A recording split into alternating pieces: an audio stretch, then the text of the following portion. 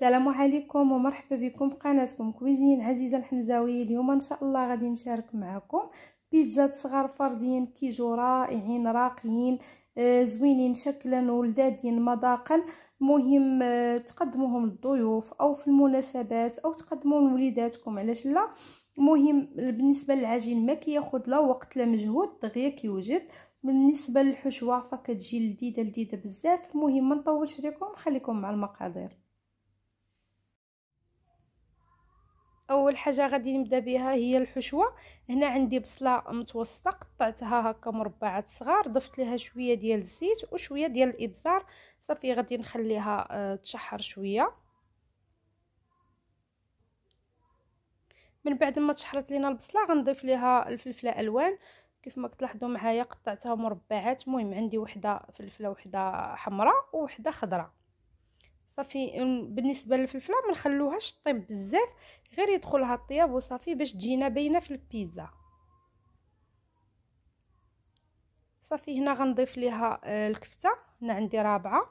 مهم تقدروا تضيفوا آه، طريفات ديال الدجاج أو تقدروا تضيفوا الطون. مهم على حساب آه، الاختيار ديالكم. صافي غادي نخليها طيب بدورها.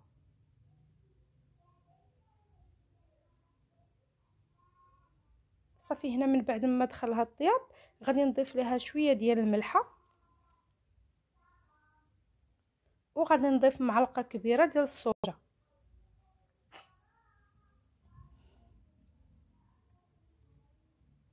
غادي نخلط مزيان كيف ما كتلاحظوا معايا. صراحة هاد الحشوة راه كتجي لذيذة بزاف ما فيهاش قوة العطرية كتجي بنينة بزاف.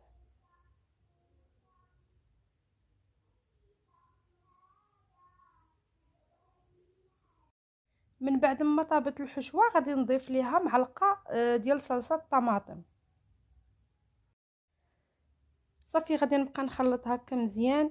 آه، المهم كيف قلت لكم آه، ما كندهنش البيتزا بالصلصة لحقاش كنديرها هنا مع الحشوة.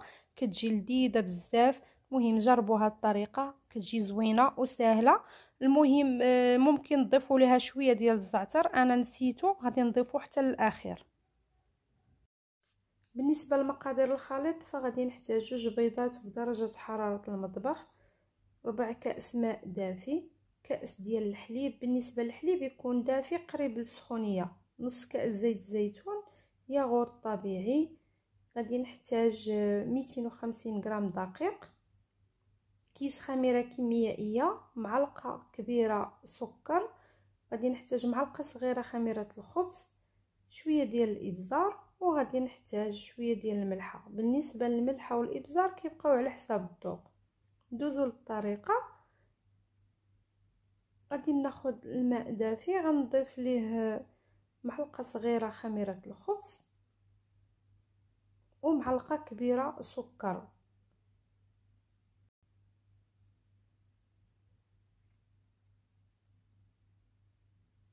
صافي غادي نخلطهم مزيان وغادي نخليهم يتفاعلوا.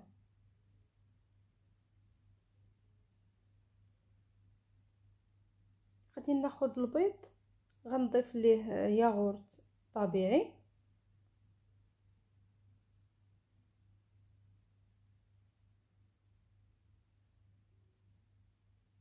غادي نضيف الملح والإبزار.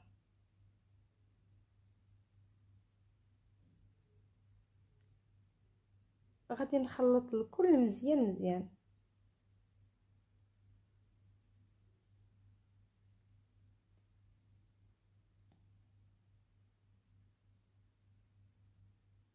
صافي من بعد ما خلطتهم فغادي نبدا نضيف آه، زيت الزيتون. آه، المهم اللي ما كيتوفرش على زيت الزيتون يقدر آه، تعوضوه بزيت نباتية. صافي غنضيف الحليب كيف ما كتلاحظوا. آه قلت لكم الحليب آه يكون دافي قريب للسخونية. كيف ما كتلاحظوا راه طالع منه البخار ولكن ما طيبش بزاف. غير دافي قريب للسخونية. صافي غادي نخلط مزيان وغادي نضيف الخميرة آه اللي ضفت ليها السكر. كيف ما كتلاحظوا تفاعلات. غادي نضيفها وغادي نخلط مزيان. صافي غنبدا نضيف الدقيق بالتدريج. فبالنسبة للدقيق فكفاني 250 غرام. صافي غادي نضيف الدقيق كله وغادي نبدا نخلط مزيان.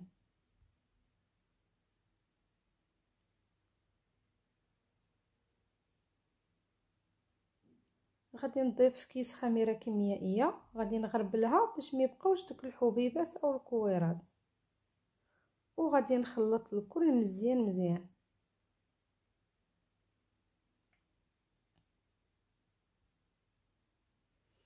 فكما كتلاحظوا فتيكون آه، الخليط شوية ثقيل تقريبا راه نفس الطريقة اللي كنديروا الكيكة غير هو كيكون شوية الخليط ثقيل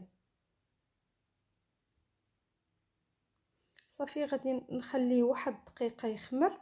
المهم ماشي بزاف غير دقيقة بيد ما أه وجدت الليمون. صافي هنا خليت الخليط يختمر شوية. غادي ندهن ليمون. أه بالزبده مهم أنا دهنتهم بزبدة التوريق ما غاديش نضيف ليهم الدقيق. إلا دهنتوهم بالزبده العادية أو بالزيت فرشوهم بالدقيق. صافي من بعد ما كملت غندوز نبدأ نعمر فيهم مباشرة. بالنسبة بالنسبة للعجين من أو الخليط ما نحركوش. نخلوه كيف ما هو ونبداو نعمرو.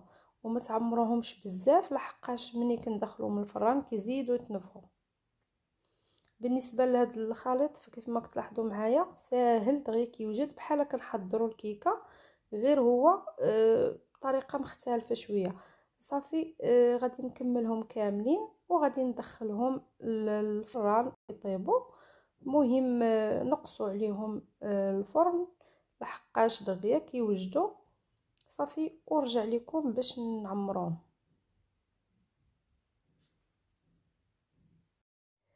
من بعد ما طابوا فكما كتلاحظوا معايا تكون هذا هو الشكل ديالهم. صراحة راه كتجي لذيذة لذيذة بزاف. آه، كنتمنى تجربوها. أه واحد المذاق ولا أروع. صافي دابا غادي ندوز باش نعمرها وبالنسبة لهاد الحشوة فحتى هي كتجي لذيذة بزاف. مهم تقدروا أه تعوضوا الكفتة بطريفات ديال الدجاج.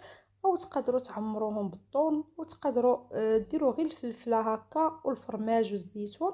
مهم بالنسبة للصلصة كيف ما كتلاحظوا معايا فما كنديرهاش لحقاش درتها مع الخليط كيف ما شفتوا معايا.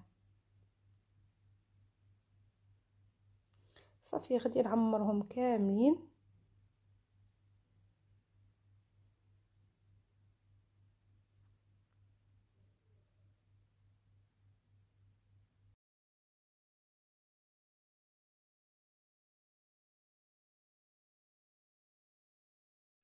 صافي من بعد رشيتهم بشوية ديال الزعتر كيف ما كتلاحظوا معايا. لحقاش نسيت ما درتوش في الأول مع الحشوة خليته حتى لدابا ورشيته من الفوق صافي غادي نبدا نضيف لهم هكا الفرماج أحمر محكوك. تقدروا تعوضوا الفرماج أحمر بالموتزاريلا.